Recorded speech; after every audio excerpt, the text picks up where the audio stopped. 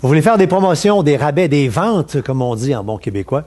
Ah ben, le logiciel vous permet de le faire. Les internautes sont friands de ça. Ça va vous aider à stimuler vos, euh, vos ventes. Et parenthèse, vous le savez quand c'est une erreur d'achat. Hein? J'ai déjà été détaillant. Tu sais, de quoi?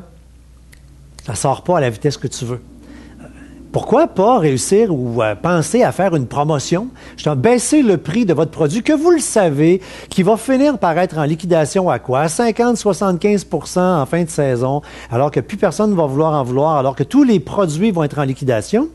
Pourquoi pas utiliser en début de saison cet système-là que vous savez moins fort, on va dire ça comme ça, et le laisser aller à 25% de rabais en début de saison?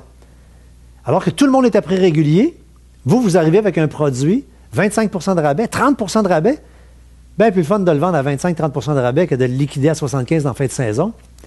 Utilisez votre site web pour faire ce genre de choses-là. Et en passant, plusieurs s'amusent à même mettre des promotions exclusivement sur leur euh, boutique en ligne.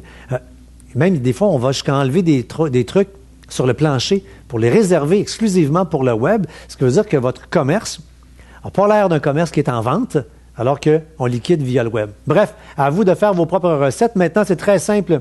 Vous vous rendez dans le catalogue, dans un produit, on rentre dans le produit, et une fois à l'intérieur du produit, ben, vous avez l'onglet euh, qui s'appelle Promotion.